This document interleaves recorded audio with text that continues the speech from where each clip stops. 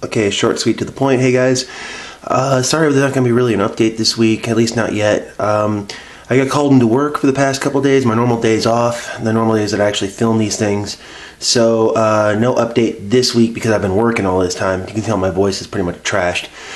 Uh, I will try to get something in if I can, if I have the time tomorrow or, or Thursday, maybe. But uh, no, no promises, no guarantees. So, um, yeah just a quickie thing, just let you know, hey, you know, I'm still here. Yeah, I'm still making videos, all that other fun stuff. So, uh, yeah, catch you guys later.